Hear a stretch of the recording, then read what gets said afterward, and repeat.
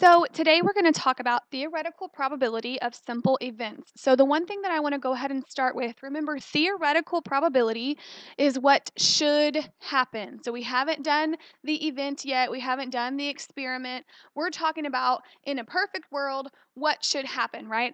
A simple event is where one thing is happening. So, you'll notice some things down at the bottom. We're going to do some examples, but simple events just means one thing is happening. Okay? So let's start with the jar bag of marbles here. Okay?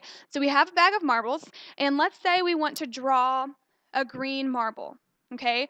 So we want the probability of drawing a green marble. Okay? Probability of drawing a green.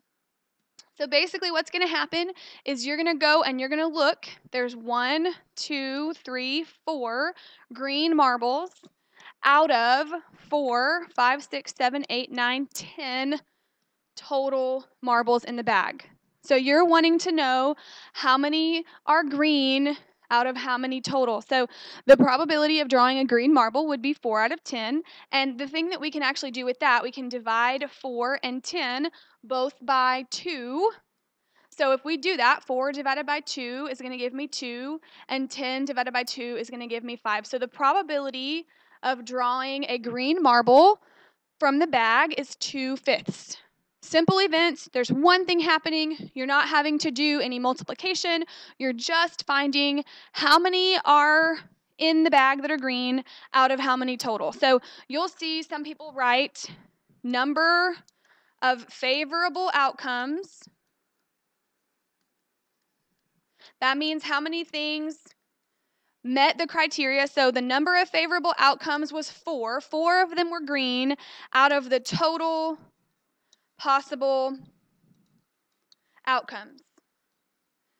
So, this is really what we just did. There were four that were green out of 10 total possible outcomes. Okay, let's do another example. All right, so what we have this time, let's say we want to do the same thing and we want the probability, let's say, of probability of a yellow, okay? Probability of drawing a yellow marble. So you look at the bag of marbles, we have one yellow out of the 10 total. So if we were to count them up again, we already know there's 10. So 1 out of 10. So the probability of drawing a yellow would be 1 out of 10. Okay? I want to look at something really quickly. We talked about this um, last week it's called a complement. So if the probability of drawing a yellow is 1 out of 10, what would the probability of not yellow be? Okay, so in that case, we know that the probability of drawing a yellow is 1 out of 10. So the probability that it's not going to be a yellow, we would look, we could look here in the bag, and there are 1, 2, 3, 4, 5, 6, 7, 8, 9 out of the 10 that are not yellow, or we could just look at this original fraction. If we know that 1 out of 10 are yellow, then we know that 9 out of 10 would not be yellow. Okay? All right, so let's maybe switch it up and we're going to maybe move to this spinner down here. So I'll move our um, bag of marbles and I'll bring the spinner back up here. So let's talk about maybe some probabilities to deal with the spinner. Okay? So let's say we want the probability of spinning, let's say a red, okay? Probability of spinning red. So you look at how many of them are red. There are two that are red out of one, two, three, four, five, six. So two that are red out of six total. So the probability of spinning a red would be two out of six. We could, you know, definitely simplify this by two. So the probability would be one third. Okay, one third. The probability of spinning a red would be one third. Absolutely. Again, we are talking about simple events. Okay, so we're not spinning a red and then spinning a blue. We're not spinning a yellow and then flipping a coin. We are only doing one thing. Okay, only talking about doing one experiment at a time. Okay, what about if we decided what's the probability of spinning blue or red? This is still a simple event. There's still only one event happening. We're only spinning the actual spinner one time, but the probability of spinning a blue or a red would change our probability a little bit.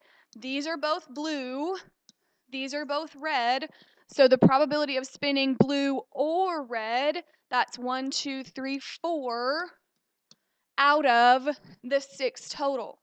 So you combine the blue and the red when it's talking when it says or, okay? So four out of six would be your fraction. Again, we could simplify this guy by two, and it would be two thirds. Okay, the probability of spinning blue or red would be two out of three. Okay, last example, we'll draw and move this little spinner down here, and we'll move this coin back up here. This is one that you're going to see a lot.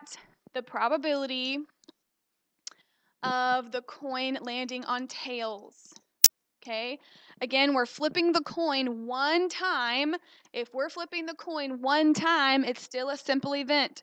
If we move to flipping the coin more than once, that's when it becomes a compound event. So the probability of flipping the coin and it landing on tails, one side is tails out of two total sides. Okay, so the probability of flipping the coin and it landing on tails would be one out of two. When you're talking about simple events, remember we're talking about theoretically. So, what should happen? We haven't done any experiment yet, and theoretically, it should land on tails half of the time. Okay? So, just remember simple events, you got one event happening, that means one fraction, and just make sure you look at what's going on in your figures.